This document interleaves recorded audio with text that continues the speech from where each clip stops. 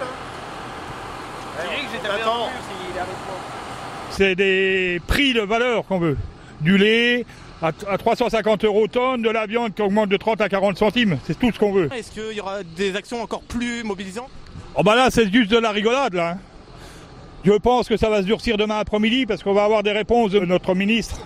Alors je pense que demain, euh, ça va bouger. Et je pense qu'on va revenir. Pour le week-end, on devrait être là. Des actions sous quelle forme?